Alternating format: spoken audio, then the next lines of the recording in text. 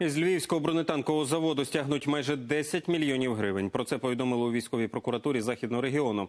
6,5 мільйонів підприємство має повернути в бюджет, бо ці кошти не були освоєні. Крім того, за несвоєчасне виготовлення техніки, а саме 10 бойових машин, завод має сплатити ще 3 мільйони 300 тисяч штрафу. На підприємстві, директора якого в липні усунули з посади через підозри в розтраті коштів, коментувати ситуацію відмовилися.